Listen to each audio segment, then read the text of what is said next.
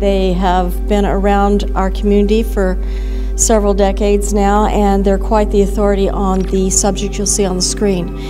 I'm looking forward to their presentation more than anything I can say right now, so I hope you enjoy it. I'll turn the floor over to you. We'd also like to thank you for taking your time to listen to our story. It's a little different than probably some of the things you've heard. Some of it may seem simple, some of it may seem bizarre, but it's our story, and we'll tell it like it is. So um, let's see, we have a brief video that'll zero you in on where we're at and where we've been up to the present, and then we'll take it from there of where, what we're doing now and where we're going in the future. So whenever they're ready with the video, I think it's coming up now. This is, I lived in Las Vegas. This is arriving from the, uh, a, sh- a shoot for the Discovery Channel, which is a, a, a Hello. very. Well, hello. How you doing? How are you? Dominique. I'm doing fine. Welcome. Thank welcome you. To, welcome to Las Vegas. Thank you. Thanks. Thanks for coming. Come on in. Yeah, sure. Welcome to our home. Beautiful, beautiful. Thank you. Thanks for taking some time. I'm really interested to talk to you about these flying saucers that Well, you have not only been building but flying, from what we hear. Yes. Well, uh, we started, uh, at least I started back uh, in uh, the late 50s and early 60s. We've rebuilt, redesigned them for years after that. We want to uh, now turn them into a, a, form of habitation and transportation for people so that they, their home will be their transportation as well.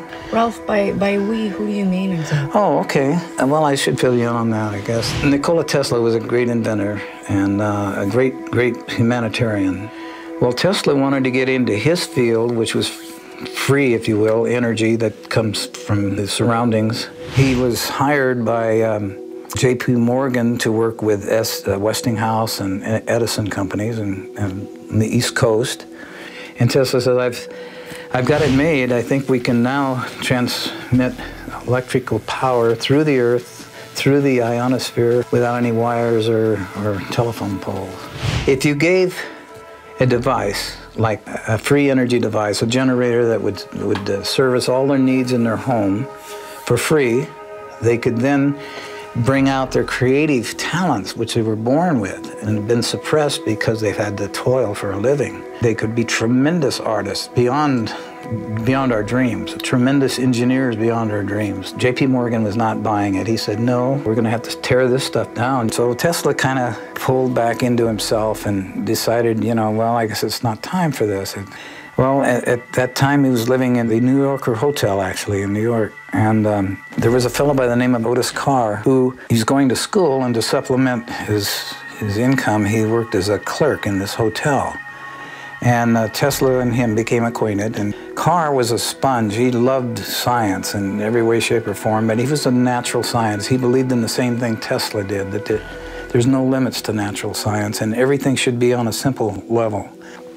Tesla said, they're, they're not interested in my, my time. I want you to take everything I can teach you and go in your time and see if they'll listen to you. And if you don't make it, you're going to have to pass it on because at the rate we're going, we're on a self-destructive course. Carr said, I will, I will, and he's, he got his own lab started and, and started uh, uh, really getting into a lot of free energy devices and building them. So he built a spaceship? He's building small spaceships then, and uh, he had different sizes, different models. So tell us how you met Otis Carr and how you began working with these flying saucers. There's a company, Advanced Kinetics, in Costa Mesa. That's where we were living in Costa Mesa, California. And they're looking for a research and development laboratory technician.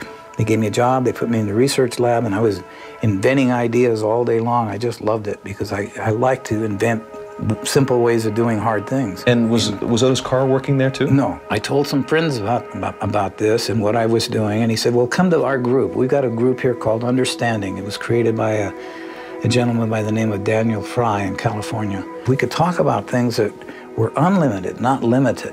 I said, my mission is to see that we have habitation and transportation in, in one vehicle. And he said, well, you, you sound like a guy that's back east getting in trouble right now. His name is Otis Carr. And he put in a patent for a levitation device, and they, they wouldn't give him the patent. They had to, he said, You've got to pull that levitation out and anchor it on the ground, and we'll give you a patent on an amusement device. You cannot use levitation. They brought him out to California. They said, Here's your lab. They, it was all built, it had living quarters, it had uh, you know machine shops, it had. That's where you did most of your work, I imagine. And this is where you guys worked on the spaceship. Yeah. How long did it take to develop this craft? Day and night, 24 7, we were building these small prototypes. And they would range anywhere from oh, 12 inches to 3 feet to 6 feet, to, you know, in, in size. And they actually flew. They actually levitated. Oh, yeah. Oh, what sure. was the source of the power? Well, it was magnetic in nature. And, uh, And you were actually building these for people to sit in. I mean, not just models. These were, these were prototypes just to prove uh, what we wanted and then graduate up to where human habitation could, could get on board and, and, and operate them. If you could explain to us very simply how this device, how these craft work. In those days, we had counter-rotating wheels, one going clockwise and another going counterclockwise. We had a capacitor, we had small magnets, and um, we had what's called a Utron. It was a double tetrahedron. That's two ice cream cones put with the open ends together. You have a diamond shape, and we had 12 of them around the periphery of the craft. And we had magnets, horseshoe magnets, 12 of those around the craft. So when you started rotating and counter-rotating, the as these Utrons went through the field, they would act as as a generator and a capacitor in, in themselves, and they would generate a lot of power, not necessary electrical power, but vibrational power. When you get to the resonant frequency of your surroundings, uh, it cancels everything out. It goes to a zero point. And once you've reached zero point, then you can go anywhere you want. And you're, your, you have your own force field around the, the craft. Just a brief pause. This is a, for a commercial venture, so they put a commercial in this slot, and that's the original tape. So just be 10 seconds. You control its up and down and left and right movements by how fast it spins or other gyros in there? Yeah, the ones with the models we had, we had uh, Uh, remotes, you know, to, to, to operate the models. But when when you get up into the larger craft, it's not necessary because everything then, as Carr was explaining, the difference between the brain and the mind is synergetic. You operate the craft like it was a friend. It's, it's like it was a living thing because Connect with the craft. Yes, and, and that's, that's the only way that our particular craft would work. There was a mental interface? Yes. So it's Wow. kind of like the thoughts carry out a vibration as well, Mm-hmm. and you have to go in harmony with the ship. So some sort of morphogenic field was created, perhaps, some sort of almost Yes. living field. Yeah, absolutely. Ralph, have you had a chance to fly it yourself? Flying is an, an an- antiquated word when it comes to the type of spaceships that we were operating because they don't f- conventionally fly. Or They- levitate. They, levitate and they teleport. They move through this thing called time and space. They actually traverse through multi dimensions. So you created an artificial gravity field, is it safe to say? Yeah, you could say that. Yeah. Is this in any way related to the work of John Hutchison and his anti gravity experiments? Well, it's along the same lines. I know John, he's, he's an associate of our group. And as I mentioned before, there's all forms of levitation. But where ours differs from John's is that in order to operate our craft, it takes spirit, it takes, it takes a synergy. It- you have to recognize the craft as an entity of, of, of life itself. It has a consciousness, if you will, of its own. What John is doing is wonderful. I'm glad he's discovered a tremendous field of uh, levitation and, and uh, composition of, of metal and uh, molecular structures. Ralph, can you tell us about your experience as being the co pilot of one of these discs? Sure. The next stage up was the 45 foot craft. That was they had already designed and built it, and uh, they wanted us to test it. So we got on board, and near the center of the craft was a, a giant crystal ball in a kind of a gyroscopic holder. Underneath that was a laser that came up through the bottom of this crystal. And as the light came up and dispersed around this crystal, it lit up the crystal from infrared all the way, way around to ultraviolet. And then Carr said, okay, guys, what I want you to do is just clear your brain and use your mind. So this is an experiment. And we're going to go outside and back in through what's known as time and space. And all you have to do is concentrate on what I'm what I'm about to tell you. We're going to go down range 10 miles.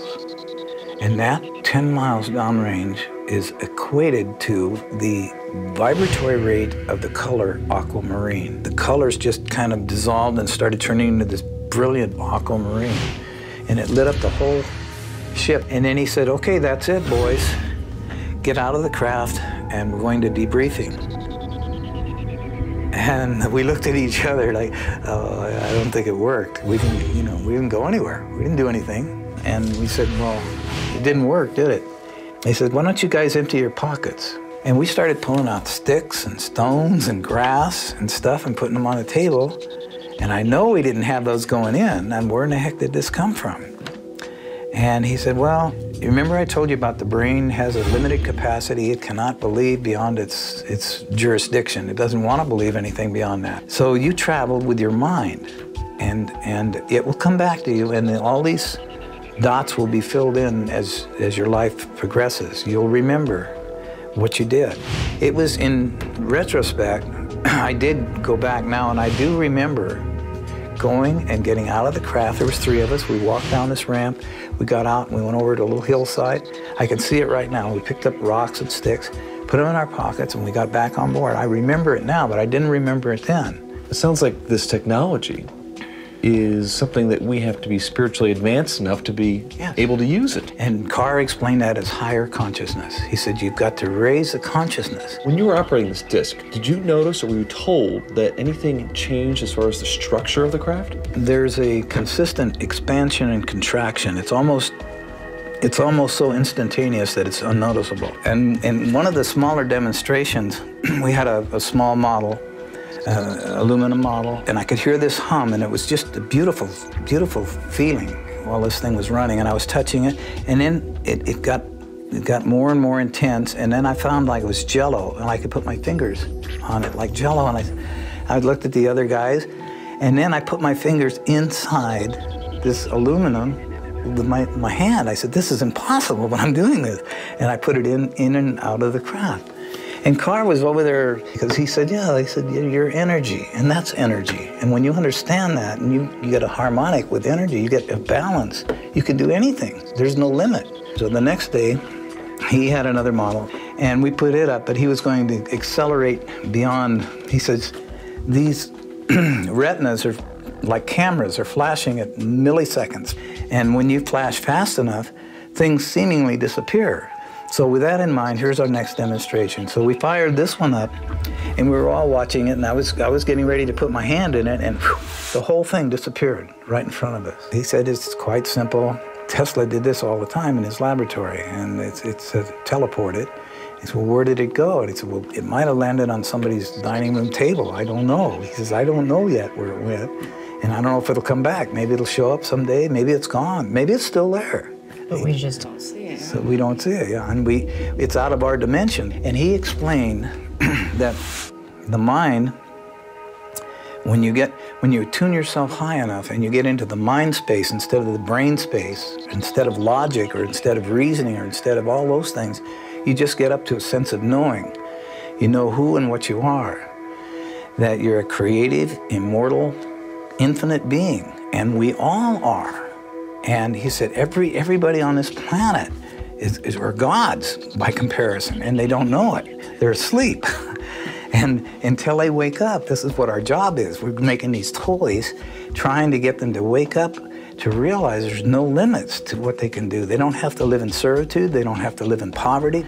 They've just been told that by people that uh, unfortunately want to control things. Carr explained to us that the brain that we have operates this water vessel which we live in. But the energy that inhabits the vessel is who and what we are. We are energy. We're not we're not bodies. The energy is all magnetic in nature. It's free in nature. We're swimming in energy. Well, before we could get any further with it, we were uh, invaded, if you will, by um, people with a piece of paper that said they were at this time closing us down. The paper read that we were attempting to overthrow the monetary system of the United States, and that could be construed as high treason, and we were shutting you down and confiscating all your equipment. Wait a minute. Didn't John Hutchison say the same thing about the Canadian government? That they confiscated his entire lab at one time? I stayed in touch with Carr as much as I could, but uh, as soon as I contacted him, I was contacted by somebody. We told you to stay away from even thinking about this. Well, what did the energy companies do to Carr? The uh, powers that be, uh, namely the power companies, weren't quite interested in anything that to do with Tesla or Carr. They didn't want this information out. It was even beyond the energy company. It was behind, it came down to, and it can be traced to this day back to the international banking system out of England. That's where this all started, the monetary system per se. Because his inventions were so revolutionary, would it upset the whole banking system? Yes, it would upset everything. They had a very, very uh, earnest effort put forth to, to eliminate Carr and his, and his inventions and his ideas. Ralph, do you think you're going to build models again? We're doing it now. We have pods related to research facilities all over the United States because I'm getting a lot of help, a lot of support. And there's people like me, people more brilliant than me that are involved in it. And we're waiting not for the uh, the crafts because they're they're waiting in the wings. The crafts are ready now, but we're waiting for the consciousness of the people to raise up high enough and to start accepting these gifts that we want to give to them. Well, hopefully that's changing. And hopefully in time, we'll see people flying around in these crafts of yours. Absolutely. We're going from the uh, Flintstones to the Jetsons. Jetson. Yeah. Ralph, thanks so much for talking to us today. Well, you're quite welcome. Extraordinary. It's been my pleasure.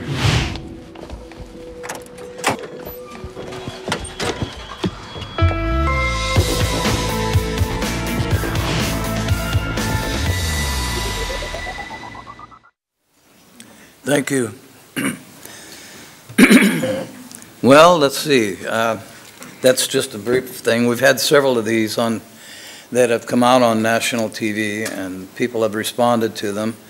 Uh, before this happened, uh, long before it happened, I had gone into seclusion because uh, I got tired of being called an idiot or, uh, you know, crazy or woo-woo or whatever they want to call it. And so I went into deep seclusion in Las Vegas. I had a wonderful life. I had gated, guarded community and all the amenities that life could offer on a material plane. Uh, I had, uh, I, I, I was worth quite a bit of money, but I was not content because I wanted to fulfill Tesla and Carr's and my own dream to see that that transportation and habitation can be in one vehicle, uh, like an RV, if you will, only take it off the ground and put it into the sky. There's not a problem with this. This is, this is rather relatively simple. When you understand the laws guiding levitation, the, the way the clouds will fill with, with moisture right out of the thin air from the invisible to the visible and become heavy laden with hundreds of tons, hundreds of tons of water until the right time. And in the right time, when designated by the laws of nature, will drop that weight. And it, it, the levitation is, is quite simple.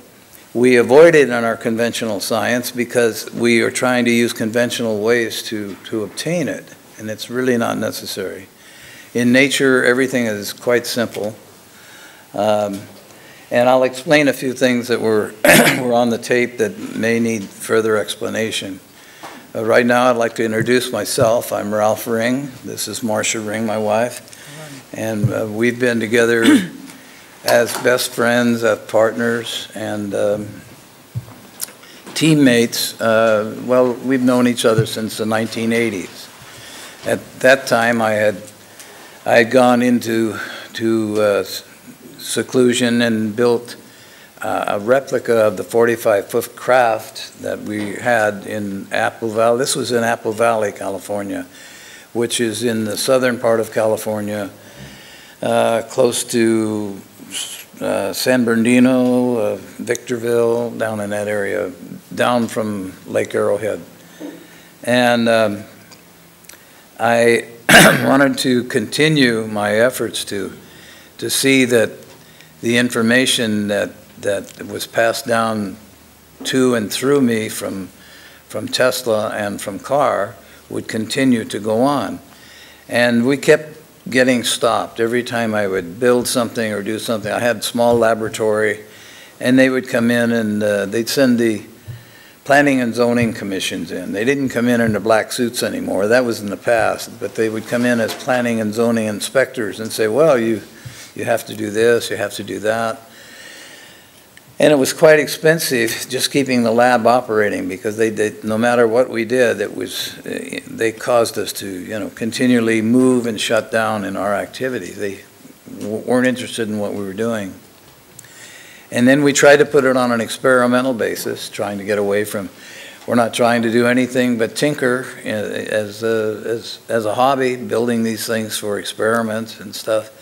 But then there was, they, they didn't have a law to cover that, so they invented a law and uh, came in and said, no, you can't do this either. So, um, let's see, I, I, I, went to the University of California at uh, Davis and uh, talked to a gentleman there by the name of Moller, I think Phil Moller or Dave Moller, that was uh, being funded by the government to build spaceships, to build levity disks, to get things off the ground, to be able to levitate them. And uh, I saw what, the, what he was doing. He had circular foil craft, uh, energized and operated by eight uh, small combustion engines, which were terribly noisy. I had to cover my ears when I, when I listened to it. Very polluting, very noisy, and uh, I think at best they got 12 feet off the ground. That's all they could do. And then they'd expire their, their fuel, which was fossil in nature, and they'd have to come back down. So I watched this a few times, and I was invited to watch it. And uh, his, his ideas were not only flying saucers, but to build flying cars, et cetera. So I said, well, I would like to talk to you about your your methods of levitation and, uh, and uh, uh, energy. Uh, we found, and this, this was in the later 50s, uh, I can't remember when it was exactly, we found that you can use magnetics energy much more efficiently. It's, it's free and abundant everywhere. It has no pollution, no, no uh, expiration. You can, magnetic, magnetism goes on forever. We're all built with magnetism. We have a, a shield around us holding our bodies together with magnetic field. And uh, we want to, uh, I would like to work with you and help you use magnetism for your levitation and, and, uh, and propulsion system. And he said, I'm sorry, but we can't do that. And I asked him why. He says, because I'm on a government grant the government hired me through the university to keep things like we're trying to get there.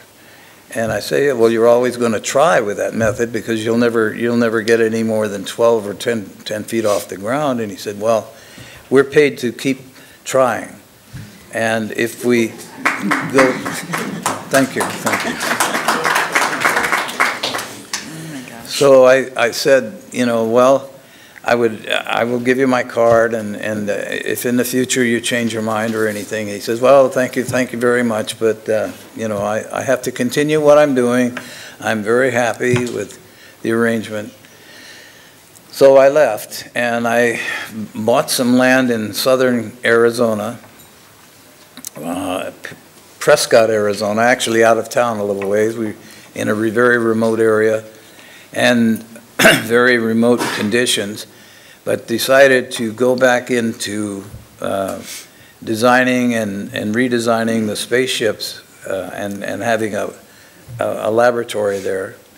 Uh, That's when I met Marsha, that was in 1981 or 2 or something like that. Anyway, And um, so I went in underground, I went in on a 40, on a 60-degree angle hill and pulled out the dirt and made a parking lot, and then went in and built a 45-foot diameter circle. And the way this was built, uh, a a stick was in the ground with a nail on top of it and a long string.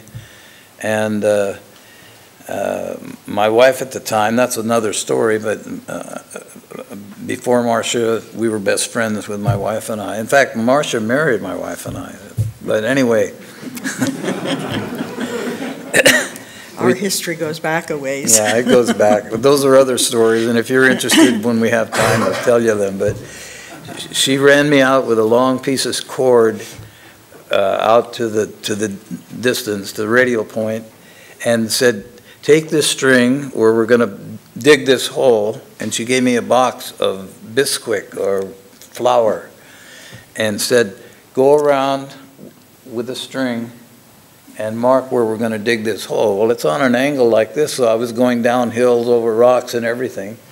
But we got done, and we, we had the, the, uh, the idea. And then I said, this is going to be quite a job because we wanted to build it ourselves. We wanted to build it conventionally, be self-sustaining, which we eventually got to, but we thought this is going to be a heck of a dig. It's going to take quite a while. But I learned from Carr, passed down from Tesla, that externally you don't you don't have to do much. In fact, the less you do sometimes, the better, because you'll get in your own way. If you use your internal sources, like your mind, like your intuition, if you will, you can be guided by that intuition to do it a simpler way.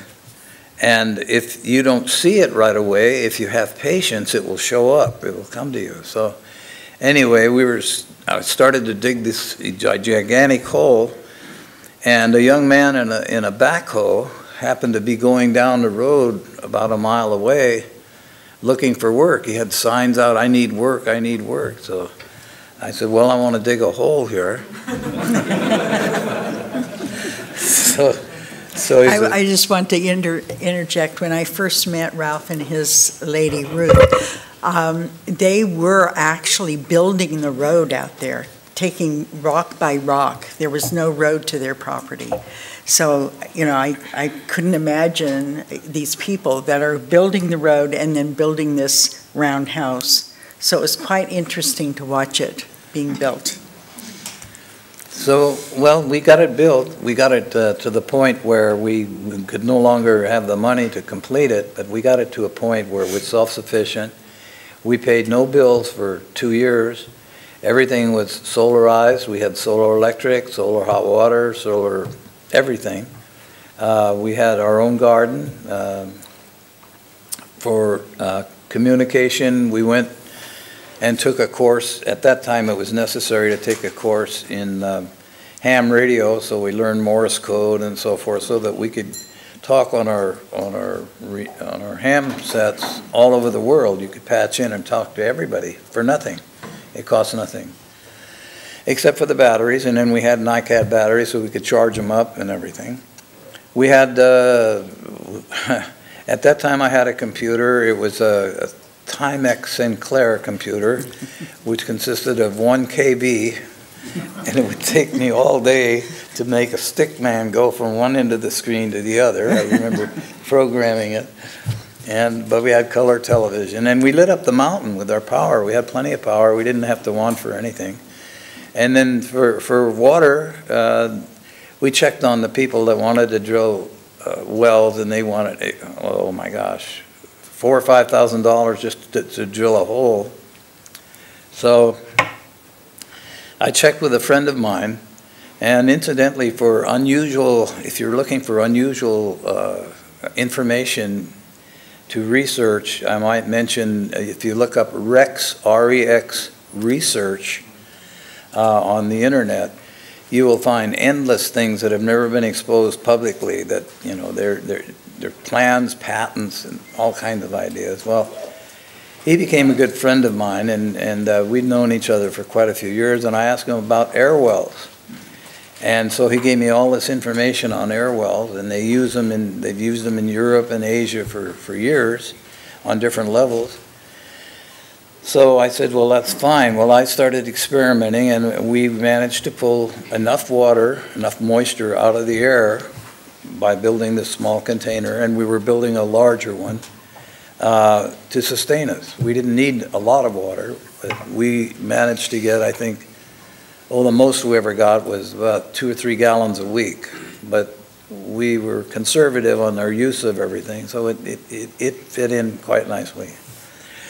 Anyway, I think I'll end that, that story of that, the underground house there. But I brought that up because um, a lot of things happened there. We started, I, I, started to build a laboratory, and uh, somehow the planning and zoning had to come out, and, and uh, I had ordered the plans from Sweden about a septic system that was recyclable. You'd never need to, to do anything. It would go, the methane gas could be used, and the, and the, the waste could go back into the garden, enough purified from the from the chemical so that it would uh, be good for the garden. But I went to the planning commission and I said, I want to put in this uh, septic system. And they said, no, you can't do that. You, you it's, it's, it's not in this country, not in our laws. And I said, well, this is a working system that's much better for the ground, for, for everybody. And uh, they said, no, you have to dig a hole, put a, a septic tank and leach lines and so forth and so on. So I found myself complying with, with what I had to do to keep, to keep my, my house going.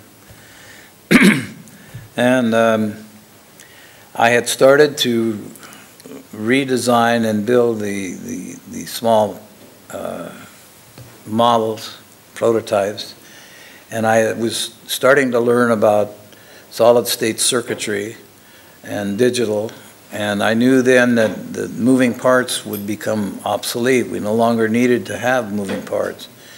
Uh, in a magnetic field, you have a counter-rotating energy going all the time. It gives you the endless amounts of energy consistently. So as soon as I started, it's, it, it, all of a sudden I found helicopters coming over, photographing the place and everything. And, and I knew that, you know, since Carr, they were continually watching and observing what we were doing. So I put everything back into my intuition and said, okay, what do I do now? And all of a sudden, a friend of mine, uh, his name was Walter Baumgartner, he had a, a, magazine called Energy Unlimited. Wasn't that the name of it? Energy Unlimited. And they're still available somewhere. I think Library of Congress has them. And he was really, his whole life was energy to how to, how to get it out and make it easier for people to live. So he wrote these, these books. But he was constantly harassed about his publications and said, this is wrong, this is impossible, it's not conventional, it doesn't fit our laws, etc. But he approached me, he came out on the property and said, I, I, I see where you're at, I know where you're at. I, intuitionally, I can, I can feel what you're trying to do. And I, I want to let you know I have a place in, in New Mexico, Magdalena, New Mexico, that is quite private and personal, and, and there's 100 acres where we can develop these things without being harassed. He says, Can we work together? So I said, Yes. So I gave him everything I had, and then I started going back and forth to New Mexico because as soon as I started doing something on, on the land, uh, somebody would show up and just kind of be nosy and so forth. So anyway, it was a constant harassment. It's been for 50 years. People don't want to see the technology that we're using. So anyway, I turned it over to Walter, and he started building them in, in New Mexico. And he got to a point of levitation, and he was getting them a foot or two off the ground. And uh, he, he he's a conventional electronic genius. He was a physicist and, and, and, a, and a genius in electronics.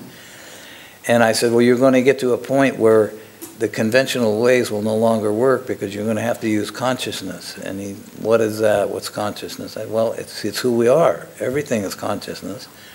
And it, it uh, requires a spirit of, of, uh, of integrity and, and, and focus on what you're doing. You have to love what you're doing enough to where your device will start talking to you in, in a language that's unfamiliar to the conventional science. But as you, you move forward, you will see different aspects that need attention from a compassionate standpoint instead of a, a, an anger or a fear or a doubt.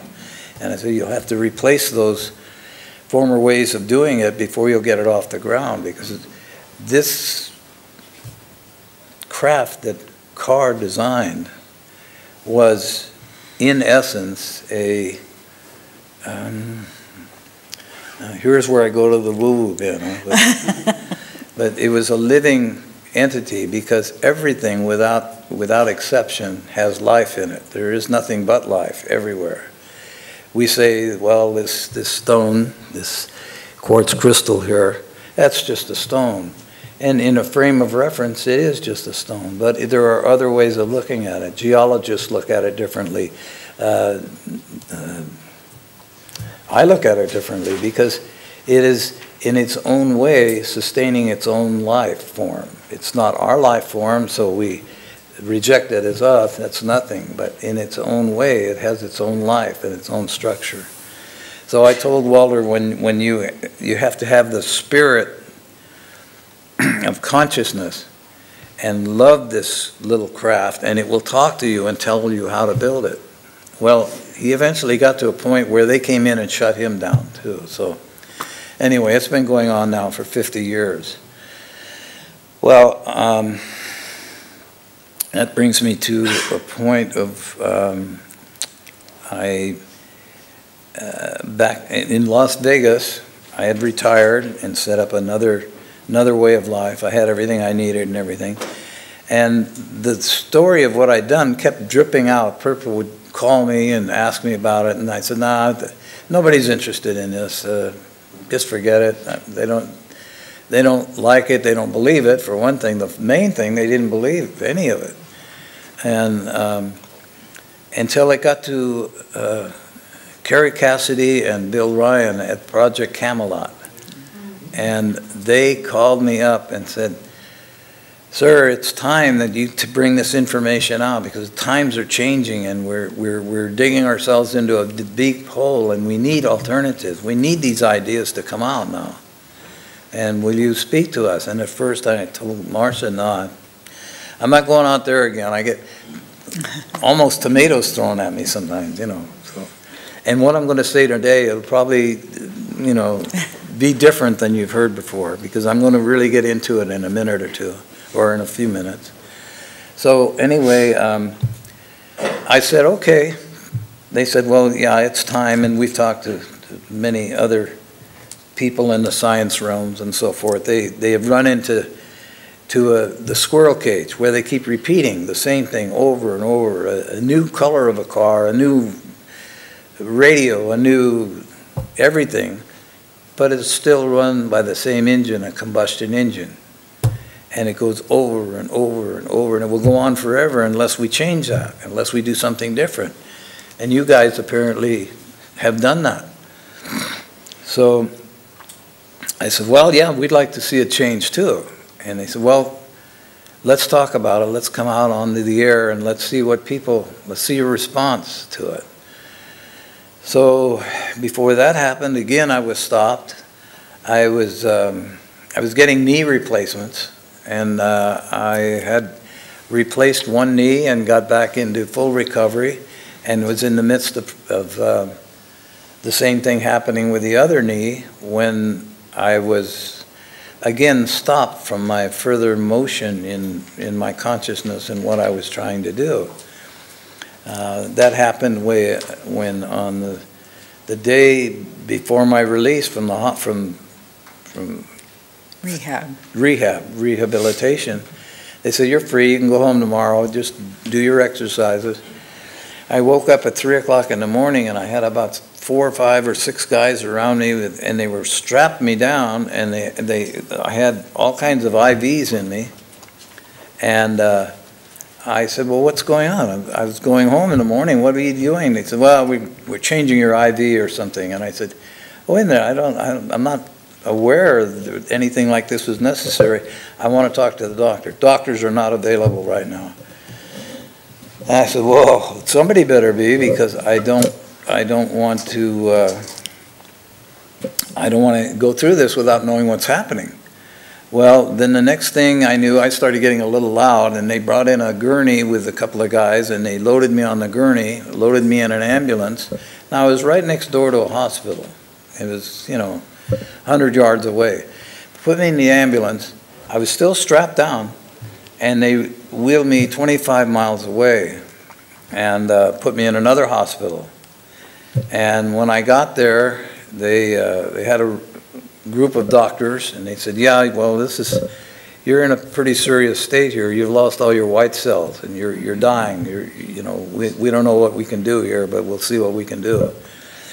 Well, that went on intensively for 11 days in intensive care, and it got worse. I went through 17 different things at the same time. My body swelled up like a, well, you were there, Marsha. Maybe you can explain that part while I take a drink of water. Uh, His wife at the time called and said, I don't, the doctors say that he's not going to live. So I lived in uh, Phoenix, Arizona, and he was in Las Vegas.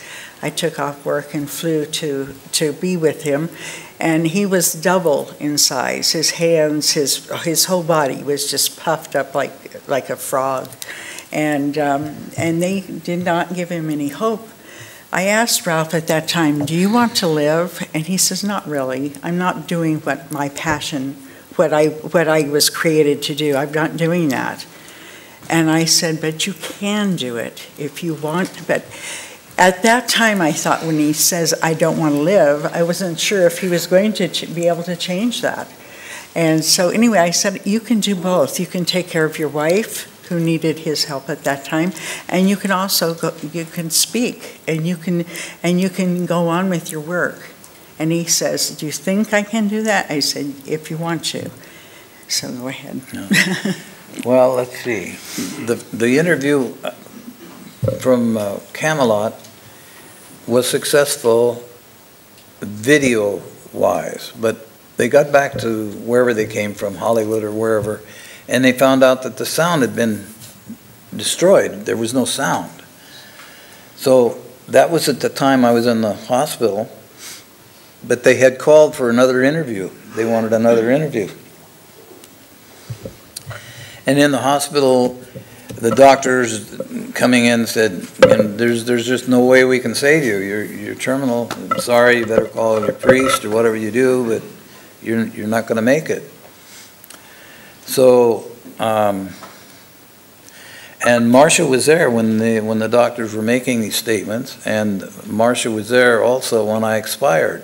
I went through the death experience, and I want to tell you, and, and I- if there's anybody that's experienced going through that, you'll understand. The ones that haven't, it's something to just be aware of, that death is nothing like you think it is. It happens in a microsecond, one that you can be conscious of, and you can play it out as long as you want, but it's not very, it's, it's it's very, very fast. And it's, it's a conscious experience. I know this is pulling us gradually away from a third dimensional world here, and that's where I want to take you today, is into a multi-dimensional world filled with frequencies and, and vibrations and everything that we all use but are not consciously aware of. And we'll get there as, as I'm moving on. I hope I'm on, on the right track here. Anyway, so I expired, and when I expired, they came in and they covered me over with a sheet, and just suddenly, in, in, in microseconds, I was, I was fully conscious of it. There went my old life. There goes Ralph. Oh my gosh. And then I was there and Marsha said, let's get out of here. And I'm metaphoring right now because I don't remember the details, but in essence, she said, let's get out of here. So, so that's what happened, and then, and so I knew then I could go on with my passion, which is to see us, and, and, and the spaceships are only a symbol. They, we don't really need them, but we don't really need automobiles either, but we're using them. We use all kinds of forms of, of conventional transportation. But until we get back to the state of who and what we are, we have these ideas, these toys for people, these uh, conventional, non-conventional ways of doing things. So, um, anyway, uh, life went on, but I knew then I had to rapidly pull myself together, and I was in, I was in perfect health after that. And when I had a resilience, and death no longer had a, any pangs of fear, I knew what death was. It's just, it's not like we think it is.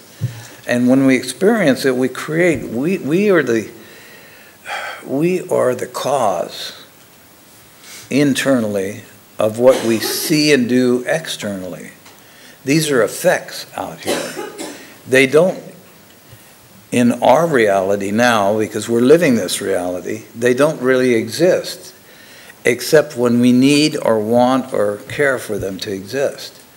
And it's with love and compassion, because we are you and you are us. And we're just mirrors reflecting each other. So it's a beautiful concept that we're living in. We, we have reached a state of consciousness of realizing that everything in frames of reference, now that's an important statement, frames of reference is true. Everything in frames of reference is love. Everything in frames of reference is real. But you have to put those in frames of reference because without frames of reference, you go into a belief system, a form of duality, of, of, of uh, well, I believe this. And, and, and you get in the science world, you get in the religious world, and your belief system is going to be crushed one day by another belief system that comes in and points out, well, you didn't look at this. Oh, I forgot that. And you go back and forth in a squirrel cage world of constantly changing your beliefs. And that, the belief system goes right, wrong, up, down, left, right, goes on forever if we want it to. And if we want to enjoy the third dimension forever with that belief system, that's not a problem. uh, my kids are enjoying it now. They're having a wonderful time, but they're having parties every night. They're having fun, you know, banging themselves up while landing in the hospital and this and that. But they're having a wonderful time with what they call trauma and drama. And they can't wait for the next trauma or drama to come so they can experience another bump or another bruise. and they don't listen to mom and dad anymore. They, they think we're a couple of kooks. so, um, so um, um, where was I? You were talking about your death experience and. and- Oh, well, and- that's over, but it- how you, you need to go on with the, now, Project Camelot. Yeah, oh, so, so anyway, because I want to expedite this, because I really want to get into what I've come here to talk to about. And I'll tell you about the spaceship, and I'll tell you how they're built and what they do and everything. But, and I'm kind of building a framework so that it'll all fit as you put it together, because I can't put it together for you, because you have your own way of doing it. But, um, um, what was I doing? One thing I want to say, when he came back, when he came out of the death Yeah, experience, he has never had a fear of death or fear. It- He, he eliminated that. He came back as, as the same Ralph Ring, but different, with different feelings, different knowingnesses. And so that's been really a- an amazing, And I found out conventionally, we try to do away with the idea of fear. And, and, and you're never going to get rid of it. So you might as well make friends with it. And I made friends with fear on an avalanche in northern Washington state when I lost my grip and was sliding down into a, a hole that might have been a thousand feet deep. I was hanging onto the edge of the hole looking over. And all I had was snow and ice with, with gloves trying to keep my balance. And I could feel fear coming up through my feet, up through my legs, and warning me, advising me not to panic. Because if I panicked, I would let go or whatever, and I, I would be, I would have to go into another life form or whatever.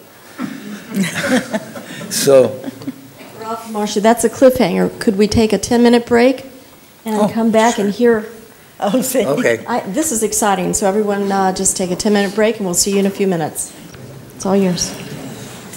Well, as I was saying about fear, I was on the side of a, of a hill um, in an avalanche condition that got me down the hill, and I was just about to go down into a, a very deep crevasse when this fear started crawling up my legs, and I got to my gut, and I had a choice. I could panic, and I didn't know where that would get me, but I panicked in the past and it wasn't comfortable. so I decided to stay still and let fear guide me. I said, okay, what do you want me to do? And it suddenly it said, well, this was a stick sticking out of the snow. And I said, grab that stick. I said, that's going to break. It said, grab the stick. So I grabbed the stick, and it was part of a trunk of a tree. It was a root of a tree. So I could get stability and calm down enough to dig my hand in the other side for a rock. I found a rock, and I, I pulled myself out. And then in retrospect, as I sat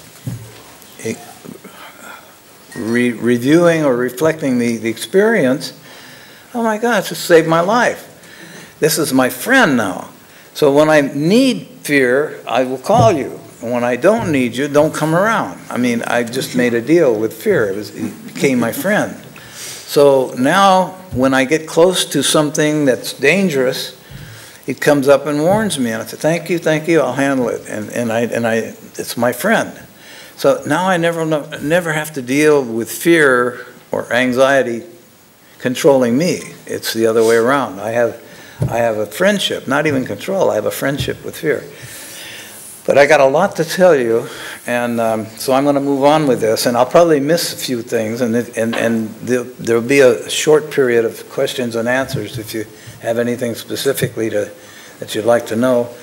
Um, so anyway, um, I got out, I'll run through this very briefly, and if in the future you want to know any more, be glad to ask, ask me. But I got out of the service, I didn't know exactly what to do, and I wanted, I, I was raised in the woods, I was raised in a, in a place called Paradise, California, and everything there, I learned from nature. I learned about, oh, I forgot my, my list, I forgot, I forgot my list. Um, the bees, I learned, you know, uh, I would be interested in the bees and how they operated, so I, I would observe them, and at first I was, uh, you know, curiously trying to understand them, and they would get excited and nervous, and they would start swarming, and and I learned eventually. Now this was over a period of a few years as I walked back and forth through the woods, seven miles round trip to go to school, and during that time, I kept wanting to know not only the birds and the bees and the and the uh, the ants and the squirrels and everything but I wanted to know how and why uh, nature operated the way it did. And so I remember this one day, I said, it's time to sit down with the bees and find out. And, uh, and, and later on, I'll tell you a bee experience that I had that I think you'll find interesting. But I sat down and I, I kept getting closer to their, to their um, space. Yeah, there's their hive. And I, I heard the intensity of the wings. They would get a little more intense. I thought, oh, they're just like me. They're getting a warning like, hey, don't come too close. You're, you're getting into our territory here. And just, you know, back off and relax. And, and, and we're going to come and take a look at you. So all these bees would come around, and eventually they would land on me. And I thought, ah, I'm going to get stung. But I stayed calm and I said, hey, oh, what are you guys doing? We're just checking you out, you know, just checking you out. And then they'd leave And then finally, they didn't want anything more to do with me, and I didn't even have a bee around me then, and I'd get on and, and look into something else. But uh, again, and this was before the, the fear incident, but again, if you go, if you use your intuition instead of your, your, your, uh, even your logic and reason will leave you wondering sometimes. But your intuition, if you nurture it and, and become friends with it, it will guide you to uh, always being safe, always being comfortable, and it will, it, it will uh, without worry, without doubt, it will lead you to your next adventure if you allow it to eventually. But, so I was raised in the woods. I came out after, after graduating from grade school, eighth grade, in the woods. I came out into the um, bigger world, the, the world of industry and, and business and, and uh, medicine and, and so forth. And I found all of it almost immediately useless. Like they, what are you doing? I couldn't believe, you know, they were still doing this and that, which I'd learned is not necessary when you follow the laws of nature. So I said, well, I, okay, I want to do something about this. I want to, you know, make a difference and show people that if we can go back to the laws of nature, you don't have to toil, you don't have to, to, to um, work so hard doing things that are relatively unnecessary because you have to do them over and over and over again and it's not necessary. So, so I devoted my life then to, and I've always been interested in magnetism since I was a kid. So I said, well, okay, I'll, uh, I'll just go along and, and, and let my intuition guide me. And I, I saw I didn't want to participate in the conventional ways of doing things because they seemed backwards. They seemed going in the opposite direction of nature. So eventually, and in the interest of time, I'm kind of metaphoring and going forward uh, with, the, with, the, with the talk. Um, eventually, um, I wound up as a laboratory technician, and I wasn't even qualified to be a laboratory technician, but they gave me the job because of my interest in natural law. But they, they hired me on as a laboratory technician in a government-funded research and development laboratory in Costa Mesa, California. And uh, because of my interest in and my knowledge of magnetism, they put me on a magnetic uh, experiment that they were working with. And the experiment was I had a giant oscilloscope and a giant um, uh, camera, and uh, uh, I had a cathode ray tube, what equates to a cathode, cathode ray tube, firing electrons like you do in a TV, the old TVs, to the, to the screen. And uh, my job was to fire an electron through this magnetic field without deflection. Get an electron through that field, either to the left or to the right, it would always deflect. It would always go into the positive or negative uh, deflection.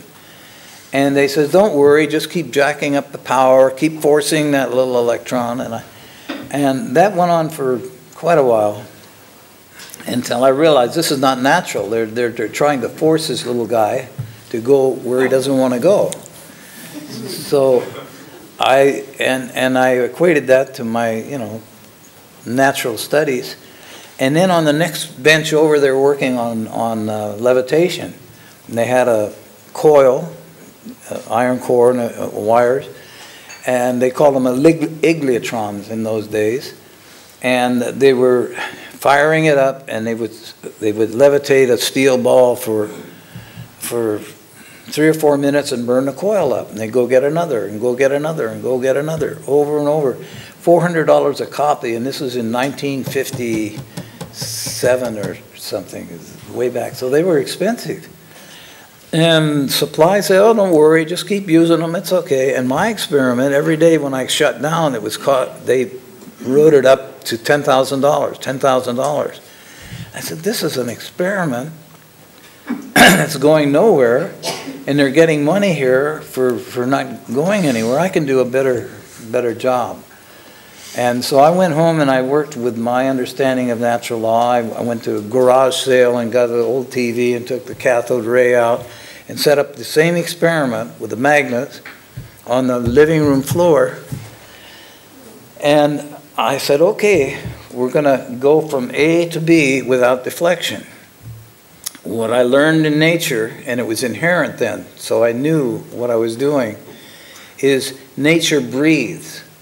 And conventional science and conventional ways of doing things, they get so excited to see a result that they force it. They try to force the result. And when you force nature, she doesn't budge. She's not going to go where you want her to go. You have to work with the law of nature and let it breathe. So I said, okay, little friend. And when I, I had a, uh, uh, when I fired up the, the uh, gun, the electron gun, um, I pulsed what's called pulsing the signal. I gave it a, an extra microsecond or two so that it could breathe. So when I fired it, instead of trying to force its way through to one full pole or the other, it went into a spiral. It went into a vortexual motion and went through the field without deflection, none at all. Went through first time, first time it went through, and I said, "Yeah, that's the way to go." so, so I I took pictures and wrote up the experiment, and I said, "Oh," I told my wife, I said, "We're going to get a raise. We're going to have a new this or that. We'll, I'll have a laboratory." and uh, and so I said, well, I got so cocky, I said, well, I'll take their other experiment. I can do that. Acoustical levitation is simple. Um, I saw a movie one time, an 8 millimeter. I, I think it's still available on the, on the YouTube in Tibet, uh, raising these giant blocks up the side of these cliffs. They use these long horns and drums. And I remember well, they'd, they'd get these sound waves and they would take those blocks up the side of the hill and they'd start building with these giant blocks using sound. I thought, okay, no problem. so I, I got a 15 inch woofer speaker out of the TV, put it on the floor, had a little audio amplifier, 25 bucks that I, I bought somewhere, and I hooked it up and I started experimenting with the sound waves in, inside of a cone, a parabolic cone. So I tried everything, squares and rectangles, and finally I said, oh, duh, what about a round circular sphere? And so I got a ping pong ball. I put it in the center, and right away, as soon as I got it, it, it I got it to the right resonant frequency where it was happy, and it stood there and stayed there, levitating. I went to bed. The next morning, I woke up, still there. I took pictures, wrote it up, and I went into the to uh, Advanced Kinetics, Dr. Weinhardt. He was the head of the, the institute, and I said, "Hey, I think I want to raise here. I got I got my magnetic thing going, and I said, I know I'm a lab tech. I'm not an engineer, but let's call in the engineers and see what they can do with this." The same thing with the levitation. I said, "No problem." well, Dr. Weinhardt, he's a pretty pretty. Uh, keen physicist. He knew what he was doing, and he said, yeah, he says, I, I see what you're doing there. I, I understand that, but Ralph, you don't understand that this is a government-funded research and development laboratory. And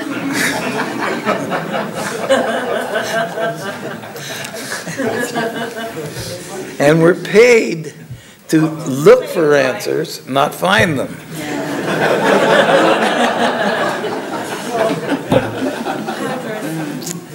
so that boggled my mind. I thought, oh my gosh, I'm on the wrong, I must be on the wrong planet. I don't understand this. they, just, they don't, they don't get it. They don't want to get it. So that's when I, when I got to meet Carr. I told my neighbor what had happened, and uh, um, they, uh, they, uh, uh, oh, the, Dr. Weinhardt said, go back to work. We're going to put more money in your envelope. Don't say anything to the engineers. Don't talk about this at all because this is, this is not to be talked about. Well, I went back and I realized, what am I doing? I'm just wasting my time and everything. But I did have a family that I was having to support, so I was a little concerned about my income. But pretty soon, that didn't matter anymore. I realized I had to do, I had to be me, and I had to go back to nature, and so I had to quit. Well, that was. Thank you. So I told my neighbor what had happened, and he said, "Oh, you you need to talk to these other guys. There's a bunch of us. That once a week we get together. This little group called Understanding, and we just rap and and uh, um, uh, brainstorm and come together with ideas. And uh, they'd like to hear what you're talking about because they they have things that similar interest and similar things happening to them. So I went over. I told him, I said, you know, I want to see us get off the ground. The rubber tire is ruining the garden. It's tearing up uh, beautiful forests and putting down asphalt and cement and rubber tires and noise and pollution. I want to see us get like the, from the Flintstones to the Jetsons. Like let's get it get it up in the air. Take take the tire from this position, put it in this position. Just take it up off the air. So um, they said, well, you sound like a guy we got, he's stuck in Arizona, in uh, Oklahoma. His name is Otis Carr. He's a direct uh, protege of Nikola Tesla. And uh, he's trying to carry on Tesla's work. And he's very, very heavily bombarded by people that don't want to let it happen. And he's constantly under uh, scrutiny and surveillance and shutdowns and everything. But he wants to build spaceships. And uh, it sounds like that's what you, you guys got to come together. So they contacted Carr and they invited him and his entourage, uh, engineers and physicists and PR people, come out to California and meet with me. So we they did. We came out to California and they put us up at Lake Arrowhead. It's in the mountains. And they put us in a big cabin.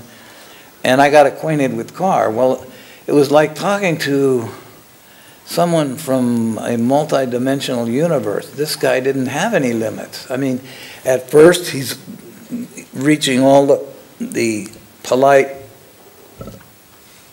excuse me, too much breakfast.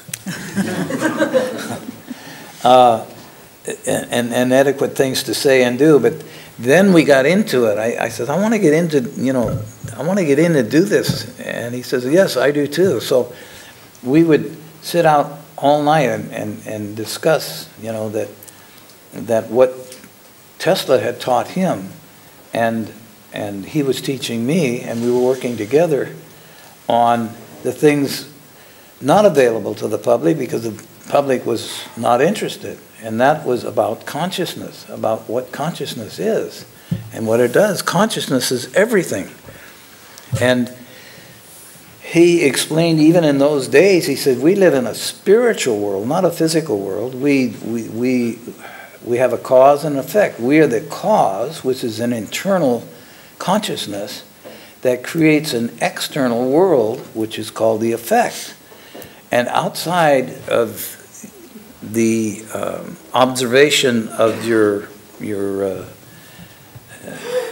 what's called eyes, your retinas and, and uh, cones and, and rods and so forth. They're just cameras reflecting your internal life, which is the real life. Out here is, is, is not the real life. It seems like it, and we create it with our thoughts. But our feelings don't always coincide with our thoughts. Our feelings are internal and our thoughts are external. And, and there's no problem with that. They can, they can align themselves to where your feelings and your thoughts are the same and everything is fine. But, but what happens is in haste or uh, anxiety or something, people start forgetting to the alignment and they, they get uh, they get to um, they get too accustomed to their own creation, which is, the external world. And instead of forgetting that we created it ourselves, we think, well, no, it's not my fault, it's everybody, there's people out there. No, that's, that's erroneous. And Carr would, would explain to me, no, it, it's our consciousness is, we are immortal beings. And uh, that's been known forever, Socrates way back. And all the philosophers talk about the immortal self as being our soul, of who we really are. Who we think we are is our external projection. We extend ourselves out to think we're something, and that's uh, in some cases called the ego or whatever, but even eventually you have to make friends with your ego because it's also a good friend if you don't abuse it.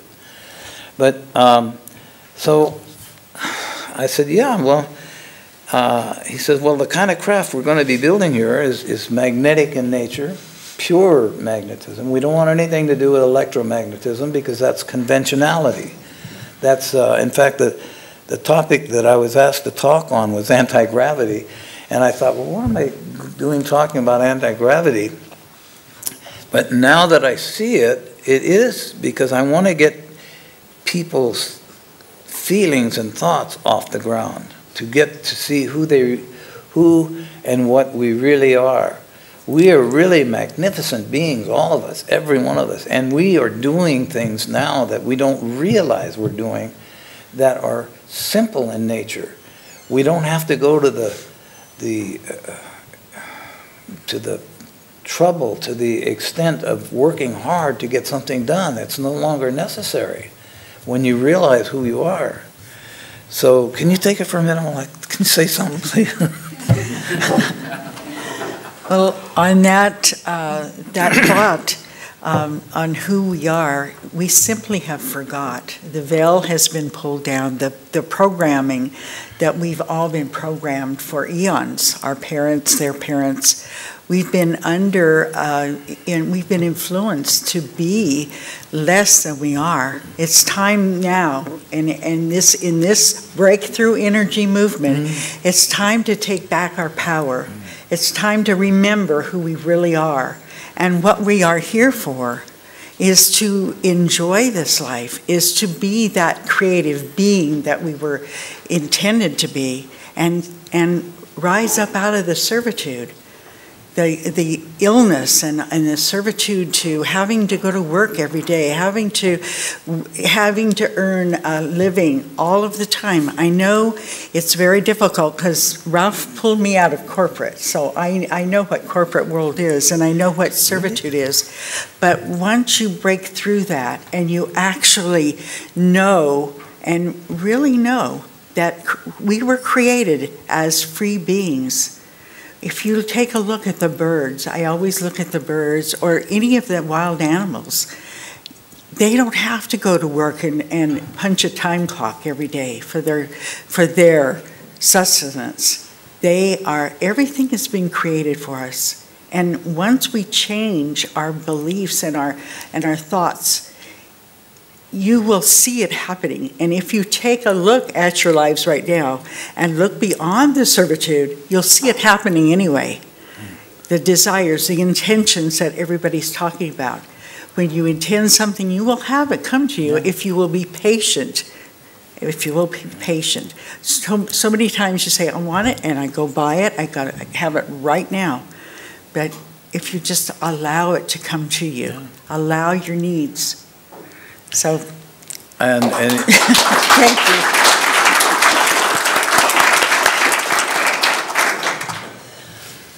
And, and, and the how is quite simple. Marsha and I are experiencing which would equate in labels, and, I'm, and a lot of these labels are, are made up because I don't know any other words to put on them. I don't have an academic education or anything, but we call it a fifth dimensional consciousness that we're living in or experiencing rather than the third dimensional. Because in a third dimensional consciousness, you have a box with five senses. And that's all you, well, that's all we have been trained or taught to operate from, the five senses. Anything outside of that goes into woo-woo or, or un, unexplainable or whatever. So Marsha and I have raised our level of consciousness to a multidimensional stage. We no longer have the restrictions of five senses. We, uh, we, we do things now, and, and, and we can, you can ask us questions about them later because I want to really get into more of what I'm talking about. We do things now that, that seem impossible, but they're, they're, they're done every day. We, we, uh, we, to put labels on it, and I don't want to limit it, and I don't want you to think that uh, we're, we're trying to tell you something that we don't do. We bilocate. We, we, uh, we realize, and, and, and Carr taught me this too, we are energy. We are not physical bodies. We are energy. And when you accept that, that's the truth. The truth is what we have to get back to, is a simple truth. The, the same as the same truth that there is no past and there is no future. So stop looking there for your answers because they're not, all of us, they're not there because they really, in truth, don't exist until we put a thought on them. As soon as we say, well, I remember when I was a kid, or I'm looking forward to this, then we are the creators of that. It's happening instantaneously. Um, and I'll get into that because that deals with teleportation, which I'll get into in a moment. I've just been told I don't have much time, so I'm trying to hurry. Um, so, where was I? Huh? Teleportation and bilocation. Teleportation, bilocation stuff. Okay, well, anyway, we, we've got into a state of consciousness where we now, and it's simple, because I know the next question is, well, how? How do you do that? is it's just simply realizing we're already in a perfect world. We're already in a perfect condition. We just forgot it. And by our thinking differently, we create differently. So we look at something, oh, that's not so hot. Okay, it's not so hot. And, and this doesn't deal with just the consciousness of woo woo, it deals with basic science of, of the subconscious once we tell the subconscious what it is, it will say, okay, that's what it is. And that deals with, well, I can't do that. Okay, you can't. Then don't even try. Well, I can do it. Okay, then you can do it. And it's that simple. We're, we're, we're led by our intuition, which is, is a part of our subconscious. And if we follow those feelings, instead of the external ones of somebody saying, you can't do that and you accept it, then you're, you're dead. You're, you can, on that subject, you can't do it. But if you say, wait a minute now, wait a minute, I think, no, I know I can do it. And there's a difference between knowing and believing. In the belief system that I brought up earlier, you can led to believe anything in the world, but uh, nobody can really convince me when I am sleepy or hungry or have to use the restroom those are knowing. I know. I know I have to go. I know I have to eat. I know I have to sleep. And that's the difference. It's simple. It's so simple we overlook it. But, the, but there's a belief system which if they say, oh, you don't really have to go, well, they, they're wasting their time because I'm going. You know, so, so anyway, that the belief system can be changed, and I, and the and the knowing can doesn't, it doesn't need to be changed. You can change it, but the belief system, many times you can change your beliefs, or somebody else can influence that belief to be changed. The observation or projection of, of knowing can be changed, but knowing is the truth, and the truth is stable. And once you find it, it'll never change. No matter which way you want to look at it or how you want to rearrange it, the truth is stable. And that's what we have to get back to. It's a just plain, simple truth that we are immortal beings playing out a role here that's no longer comfortable. We're getting uncomfortable with the conditions of the world and the poverty and the, all the other things that we want to imagine are happening. And simply let go of those ideas and start cultivating it's a beautiful world. It's a wonderful world. And you, you probably think, well, that's kind of crazy. And it is until you practice it. But Marsha and I uh, have now come to this state of consciousness where, without exception, and I mean, I mean that, without any exception, we feel everything is good. Everything. There is nothing outside of good. Everything is true. in frames of reference. Everything is real in frames of reference. If you can change your thought when you think, oh, this is really not good for me, if you can change an, even emotions, even anger, even, you know, if you just like Ralph talked about fear, if you can change your perception of it and look for that good, and then you'll see it. And maybe maybe you don't want to see it. It doesn't matter. But but if you can, if we can all start changing that um, that aspect of our thinking, then we can see more of who we really are, more of that reality. And the question immediately goes to what about wars? What about killing? What about all these these people that are killing each other? Yeah, what about it? It's not happening to you, but it's a lesson. These are lessons consistently thrown in front of you to look at. Don't go there, don't go there, don't go there. Or you'll draw yourself into it by fear, by anger, by, by frustration, or, or worry. And it, but as long as they're there, you can thank you, thank you, thank you, with, with deep reverence that, that thank God that I don't have to go there. Thank God it's not happening to me.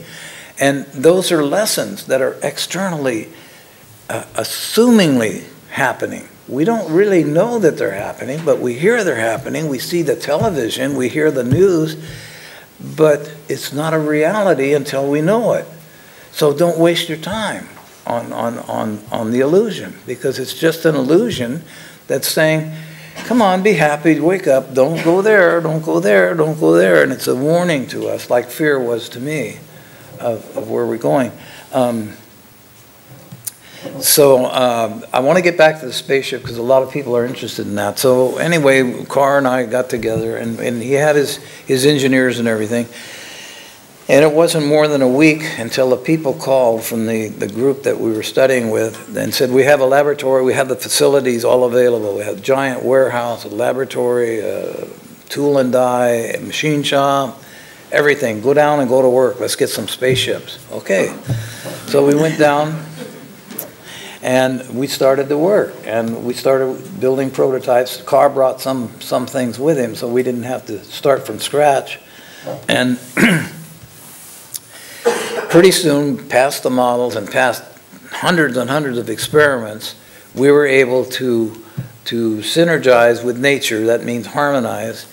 Uh, and, and the way we did that is what's called resonance. Uh, resonance is a very simple thing, but it's very complicated if you don't understand it. But once you reach the resonant frequency of anything, anything, you can change it.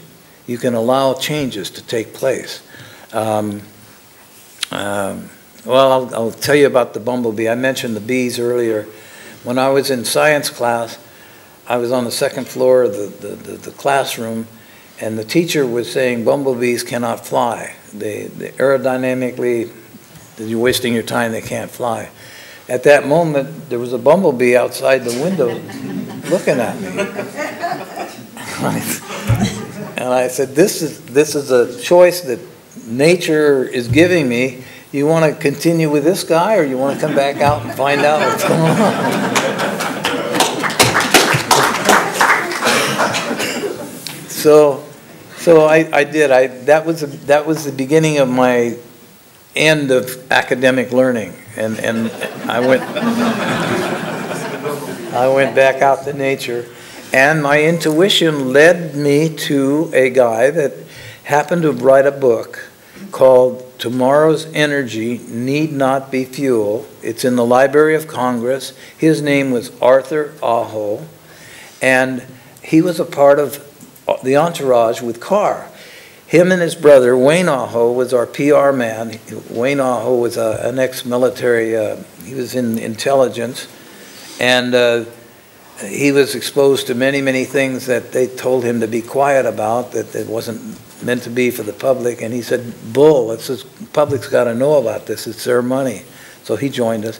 And I met his brother. And he, and I said, what about the bumblebee? And he said, no, you got to give credit to your teacher. That's all he knows. That's all he knows. And, and so give him credit, honor him, and I will show you how bumblebees operate. And so he, to, he told me, he showed me that next to the larynx in their, in their throat, there's a tiny hollow cavity. It's just like a straw that's hollow.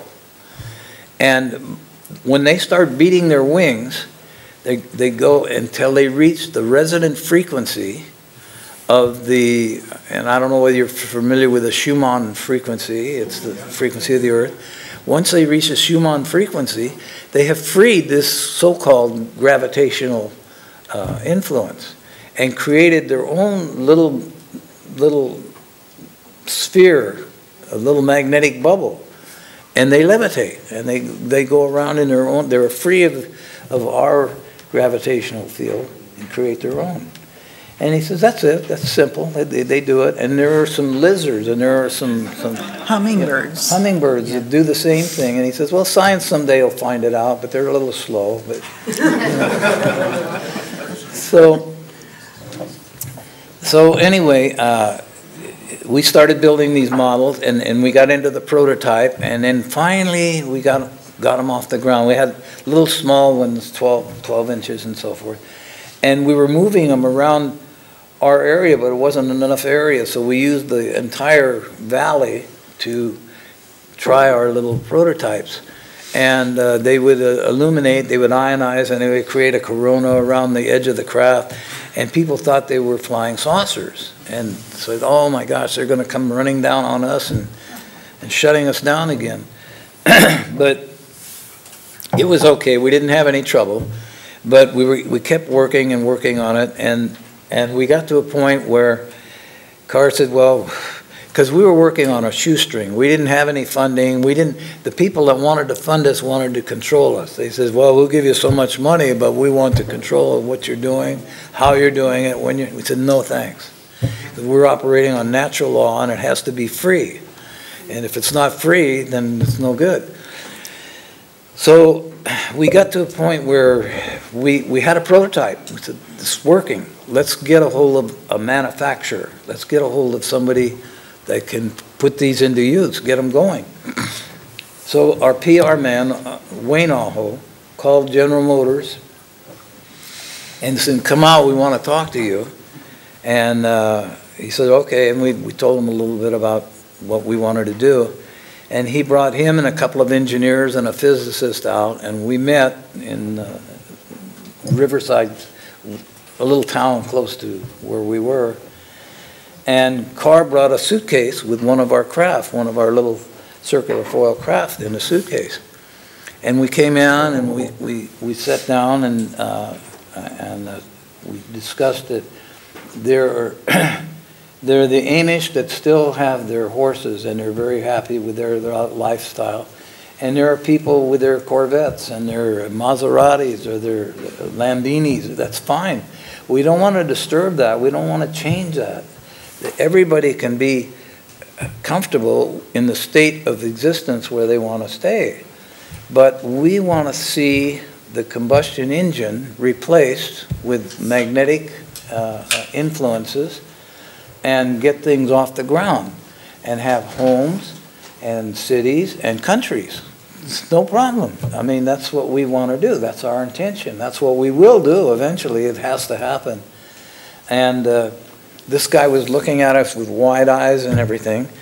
And uh, he said, well, what are, you, what are you talking about? And Carr opened a suitcase. He just opened the lid of the suitcase, and the, he could see the little craft. And we had it um, with Lex plastic that you could see through.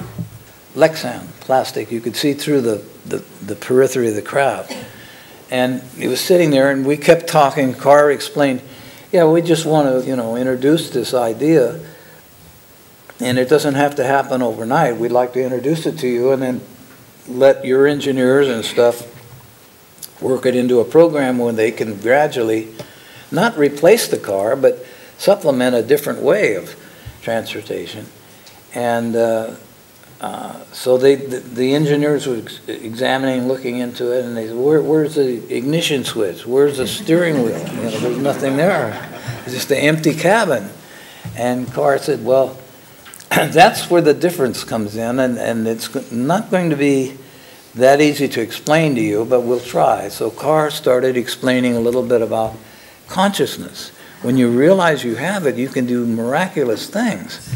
And So the little craft came out of the suitcase and started moving around the- desk. These engineers were coming over, looking at it and stuff, and they said, "Take your coats off, boys, we want to see, you know, if you got a remote." They they thought we had, you know, remote control. I said, "Go ahead, search," and we have nothing. And they said, well, how's that working? He says, it's simple. It's, it's working because we want it to work. It's a, it's a principle that's not accepted yet in, in, in, in the third dimension. Um, Or, or it has been forgotten, not accepted, but forgotten. And he said, well, what does that mean? Well, it's magnetic power, pure magnetism, not electromagnetic. I got five minutes, okay. okay. Um, so anyway, uh, so we said we want, we want magnetism because there's no pollution, no maintenance, no, we have no moving parts. This thing can go to the edges of the multiverse and never run out of fuel because everything, everything, the, the glue of everything is magnetism. It holds everything together. These, this glass and these, everything is magnetism.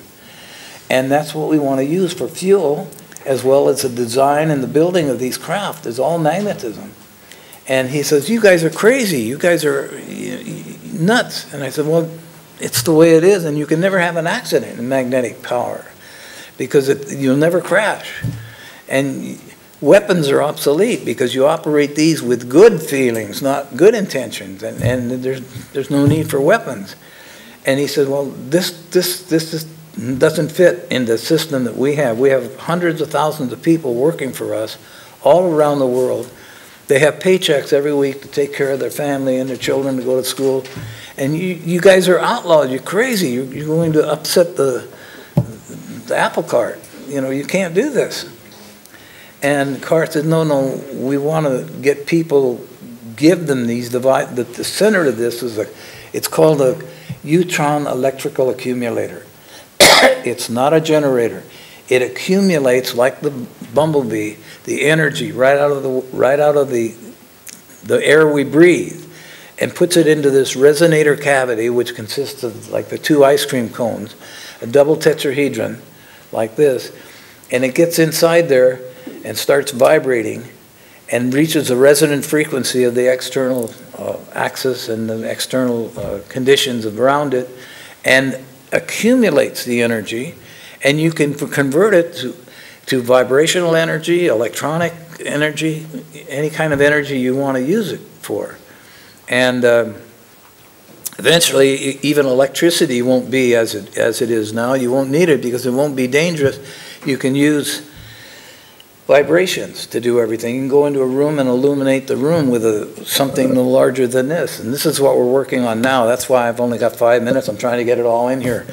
Uh, uh, so uh, where we're at now, see, wait, did I finish that? No. No, I didn't finish it. Well, uh, If you put them up, we'll shoot them down. oh, oh yeah. So the guy said, we were, you guys are outlaws, get out of here, we don't even want to talk to you. And, and if you, Mr. Carr, if you put those things up, we'll shoot them down. We don't want you around, you're an outlaw to the system. So Carr says, okay, I guess we shot our best shot, we better go back we had a 45-foot craft, a larger craft, and he says it's, it's ready for operation. It's been through some tests. I want you to take, with two engineers, and he, and I'm just a, a lab tech, but I'm, I'm into nature and I'm into natural law. So he, he selected me to go along, and because most of the time I was running for hamburgers or I was working on the machine to, to build parts. So um, he said, I want you to get on board and we're going to take a test flight. And as soon as we get done with that, we're going to take these. We had two more that were going to be ready. They weren't ready. And we're going to take these craft and go over New, uh, Los Angeles, Chicago, all the big cities, and come down where people cannot mistake that there's something there they don't understand. They better ask their representatives, what's this going on that we don't know about? And he says, that's where we're going, boys, so, so let's go. So, so I got on board with two engineers, and I'm not letting you talk at all. I'm sorry, honey. I, I, I neglect her all the time. It stabilizes me. so we got on board, and as you saw in the film, we had a, a crystal, a giant crystal in the center of the craft, and it was illuminated with with a, form of laser, and I don't I don't know what kind or orgone or whatever, but um, in and he said now. What we're going to do is we're going to go down range about 10 miles. And what we, we've had the engineers go down there and they tested that area electronically to vibrate at the frequency equated to in the light and color spectrum as the color of aquamarine. It's just a color. And it's a neutral, it, aquamarine covers from, from, from uh, what is it, emerald to sapphire. It covers a large range of frequencies. But this aquamarine was an area that they measured. And what we're going to do, we're going to fire the crystal, and we're going to keep uh, the same thing I did with the with the little electron. Keep changing it until all these colors in this. This was a quartz. Um, Crystal. like a holographic crystal with all the facets on it. And when it reaches the color of aquamarine, you, you've reached a resonant frequency of 10 miles down there, and I told you before, we're all energy. Nothing exists but energy. We just are thinking in a box. So we're going outside of the box, which is outside of time and space, and we're going to have this experiment, and you're going to do something there, and then you're going to come back, and no problem. So he says, okay. So we got on board, and we got ready. Beautiful colors that lit up the ship. It turned into this beautiful aquamarine color. And I thought, oh, we're getting ready to go. and, and, and we waited and we looked at each other. And then Carr says, okay, that's it, boys. Come on down for debriefing. It's all over. And we said, well, we didn't go anywhere. And we looked at each other. We didn't do anything. No, we didn't. So we went down and, and Carr I, I know. Uh, Carr said, how was it, boys? And they said, well, we didn't go anywhere. What, it didn't work or what? And he said, oh, you don't think so? Empty your pockets. I said, what? Empty your pockets. So we started emptying our pockets on his desk, and we had sticks and stones and rocks and everything. We emptied it on his desk. Where did that come from? And we knew we didn't have it when we went in because we had to we had to shower up and put on these little jumpsuits, and we, and we knew we didn't have anything. Nobody came inside the craft when we were there. So I said, well, how did that get there?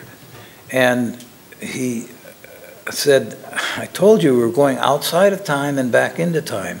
Your brain, and this is, this is his own definition, because there might be many, many ways to define this.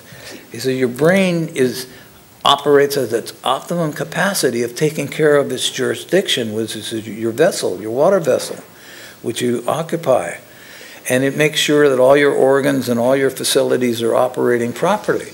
It's not interested in spaceships or, or deep sea diving or, or anything else. It wants to take care of the body. So, okay, well, I'll just round it off. I'll round it off. Okay. So, anyway, huh? We all want to hear the ending. You want to hear the ending? Okay. What do you think? Can we Yeah. extend for 15 minutes? No, we, we don't have that time, but we want to hear a wrap-up. We're real curious. Okay. well, Let's all do it together. Outside of time. This is our spaceship. Well, so, so, so anyway, um, he said that your, your body, your brain doesn't, doesn't know or want to know anything outside itself. You have to use your mind. Your mind is equated to your intuition, to your heart, and, and to the, to the ether world, not, not the conventional world of, of, of that we're familiar with, but the world of the ethers. And uh, so you will someday remember it. Your brain will eventually accept the fact that, you, that this happened, but maybe not right away. But what we remembered later was we did go downrange. I remember going down and picking these things up and putting them in my pockets and, and getting back on board. And for years, uh, you know, I had no way to, to verify that. I had, you know, I didn't even barely talk about it. But we got a, an email, I still have the email from two police, there was a police officer, he was on duty with his buddy, there were two police officers that were on duty that night, and they saw us. They, they said, yeah, it came down and, and stopped and just, you didn't put anything down and you got on this ramp and you went down. I thought, oh, you saw us. Oh, great. Then we have some verification that something happened. But, um, so then we, we got back and said, okay, successful. The next day or two, we're gonna take this thing over to Los Angeles and put on plenty of lights and activity so that they can see us. And, uh, so then, it was the next day or day two, day two after that happened, these trucks came in with these troops, armed with, gu- with guns and everything, these big armed, armored trucks, and these black cars with, with all kinds of people with badges hanging on them, FBI, CIA, I don't even know what they were. And this guy came up and wanted to see all of us, and they kind of corralled us into a, a little group, and he addressed Carr, he says, we're, we're, we're, uh, what is it, cease and desist. We're calling you to shut down this operation immediately, and we're confiscating all your goods and everything. And Carr said, wait a minute, wait a minute, on what? We're, we're just free citizens operating as hobbies. We're just building hobbies here. We're not hurting anybody. He said, no, no, no, you're attempting to overthrow the monetary system of the United States and could be held in high treason. And so we're, we're, we're taking everything. They went in and took all our files, they took all our prototypes. They took the big ship that I was in to Los Alamos, New Mexico, nine feet underground. I learned later they tried to mount weapons on it. In a mag, in a pure magnetic field, weapons are not necessary. They can't work. So, uh, anyway, that's, that, to this day, I guess it's still there. And, and, and the That- future is, we got these pods now all over the world. We got them in Australia, we got them in Canada, we got them in Hawaii, that are rebuilding these things. The only thing stopping them from happening is the consciousness, people accepting it. Let us change, let us show you what we got, because we got them waiting in the wings. The wings are the collective consciousness of all of us. We already know this is happening. We just have to allow it to come forward, because we need it right now. Is that, that, I think with that, we're all conscious enough to support this wonderful couple. And we are so blessed to have you here today thank you. and learn like more to about just you. Say one more thing. And we have Marsha has, please hold your applause. We have one more thing we need to say here. I, I just wanted to give our website, Oh, yes. We It's- need a web, we need help on our web. If anybody, it's a volunteer basis, but our webmaster has had has gone on to greater things. greater things in his life, and we, we're, our website, which is bluestarenterprise.com. Blue, Blue Star, go ahead. Blue Star Enterprise, one word, Blue Star Enterprise dot com. Uh, And we need, we need help. We need some, to keep, and all this is, is a beacon. We don't ask for money, we don't want any money, we don't need any money, because we get our money now from when we need it. We've given away a lot of things that were excess baggage and gone back to, to intuition. When you use it, it comes when you need it, and if you don't need it, it won't be there. But If anybody's interested e- in, in the audience or in the a vast audience, uh, we would like you to contact us at Blue Star Info at g, at mail dot com. M-A-I-L, mail, Blue Star Info at mail dot com. We And would appreciate any help. if you're with that. interested- Bluestarinfo at mail.com. Thank you. and it's just a beacon and the light so that people can come together and meet each other. We have, we have scientists and all, all kinds of people meeting on our website. And we're not asking for any money, we don't, we don't need anything but love to put everything Again, together. that's Blue Star Info, blue star Info. bluestarinfo at mail.com. And thank you, everyone, for coming. Thank you. This has just been one of the best sessions we've ever had.